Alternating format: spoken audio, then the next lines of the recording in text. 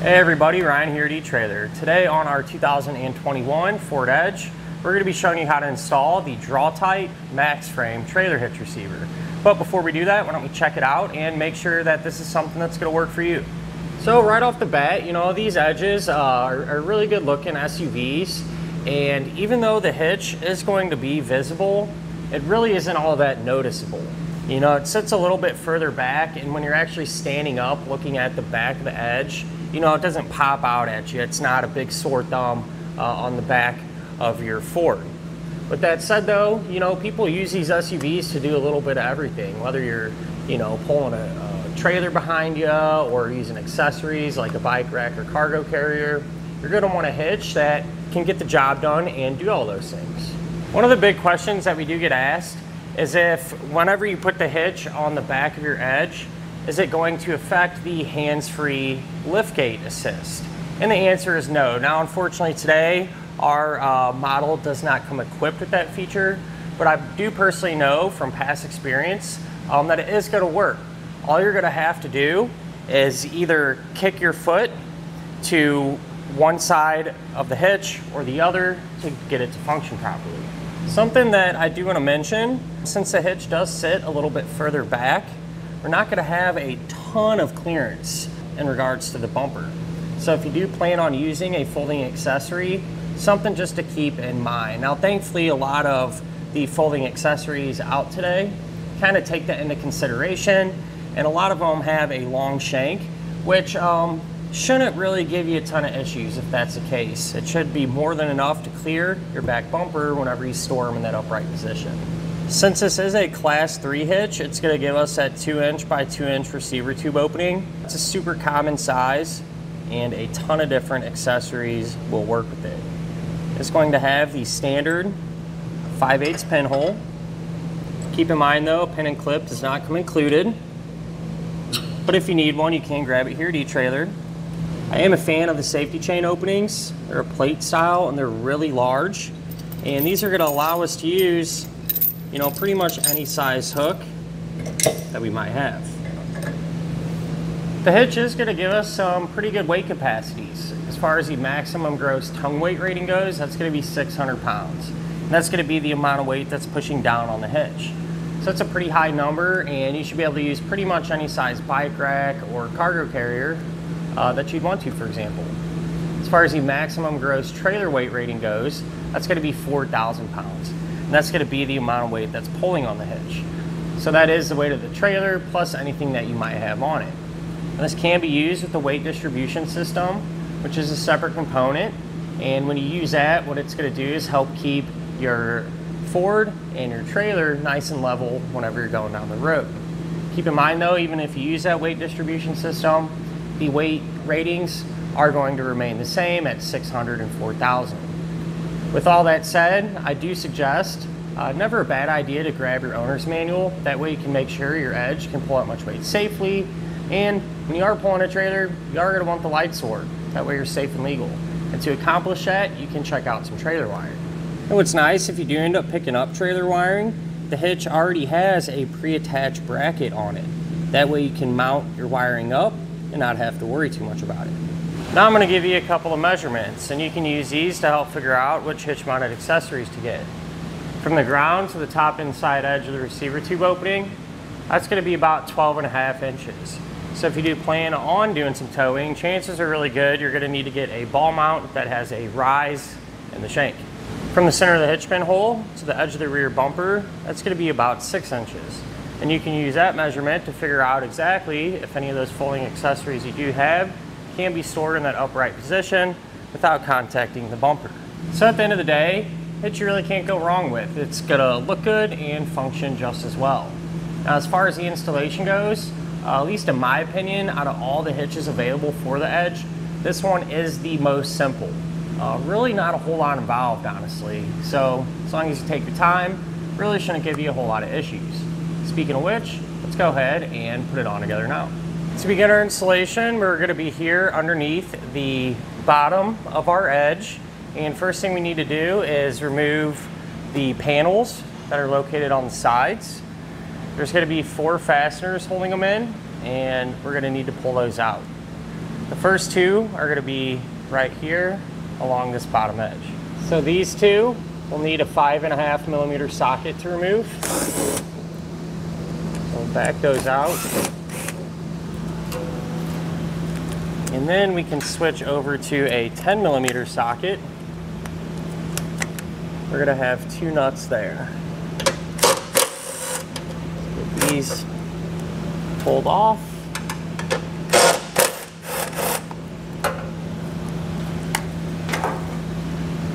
Grab the panel and temporarily remove it. And I wanna mention, from this point on, anything we do to one side of the vehicle, we're also gonna do to the other side because it'll be set up the same way. We are gonna need to lower our exhaust a little bit. That way we have more room to work. It's a good idea to support it uh, before we do that though. So I just took a strap, ran it from side to side, and tighten it up a little bit. That way we can kind of control how fast and how far we let the exhaust come down. To actually lower the exhaust, we're gonna have two rubber isolator hangers, just like this. So one over here on the passenger side and the same exact setup over on the driver's side. Want to lubricate these with some soapy water, some penetrating oil to make it easier. And then we can take a pry bar and just work that hanger off of the metal portion there.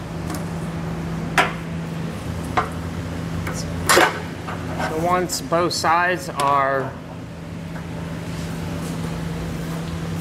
removed, you can kind of adjust the strap as necessary to give us that space that we need. Now if you look on the side of our frame rail, we're gonna have this oval shaped hole closest to the front of our vehicle. We're gonna be using this as an access hole, that way we can get our hardware inside of the frame rail. Only problem is, whenever we take our bolts, the head of the bolt is too big to fit through there. The spacer block will fit through just fine, but that bolt won't. So there's a couple things we can do. We can either kind of try to pry on this a little bit to make it bigger. What I prefer though is just to enlarge it. Uh, so you can use a hand file or to speed things up if you have a tool like this, um, you can do that as well. So I'm just gonna remove a little bit of material and make it just large enough that we're able to fit our bolts through.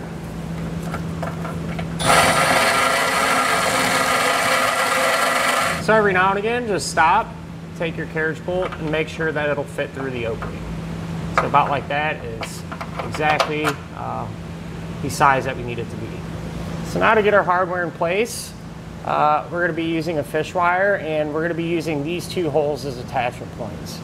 I'm going to start with this one closest to the back of the vehicle, take the coil end of the fish wire, and we're going to push it towards the hole that we enlarged, our access hole. And what we're trying to do is get that coil end to come out.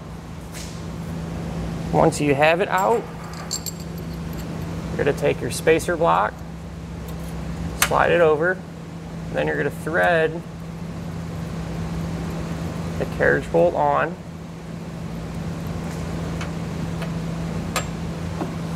You can then feed the hardware inside of the frame rail gonna pull on the other end of the wire. Make sure it comes out freely. And then we're just gonna barely set it back inside of the frame. That way it doesn't interfere with our hitch when we go to put it up. So I'm gonna do that same thing for this one here. Just kind of a quick uh, tip. What I like to do is just kind of eyeball the length and then kind of put a bend in it. And that usually helps us come, the end come out a little bit easier. doesn't come right out, you may have to kind of reach up there and help guide it. But with that said, I'm to take the same hardware combination and get it uh, in place as well.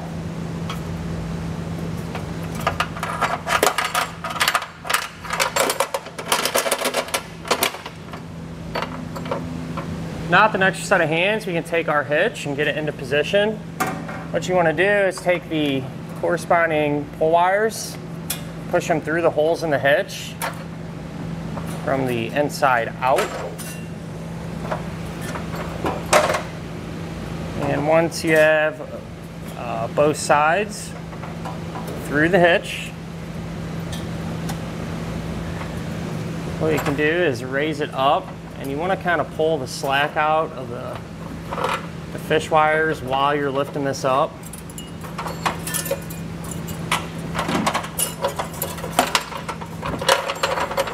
Once you get it up there and everything lined up,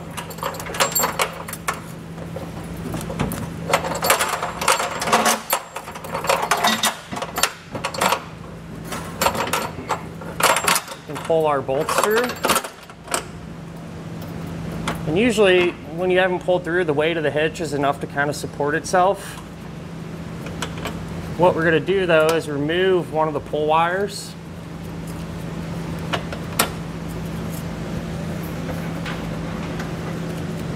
We're gonna take a conical tooth washer, make sure the teeth on the washer are gonna face towards the hitch. Carefully put it over that bolt. And I'm gonna apply a little side pressure to keep that bolt from moving. Can take a hex nut and get it started. We're just gonna do the same thing for this attachment point as well.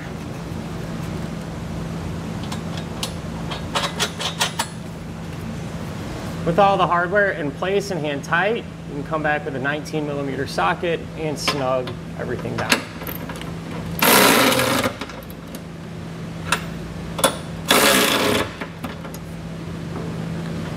Once everything's snug, we need to make sure and come back with a torque wrench and tighten down all of the hardware to the amount specified in the instructions. Now when it comes to the underbody panels, you have a couple of options. You can either leave them off or you can trim them a little bit and reinstall them. And we're gonna do just that.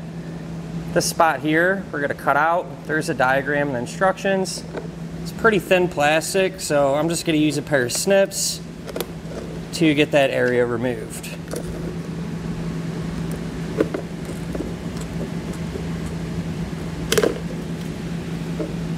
With the panel cut out, we can reinstall them the opposite way, one exception.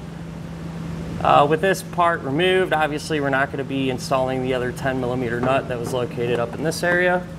The three fasteners is more than enough to hold it in place and keep it secure.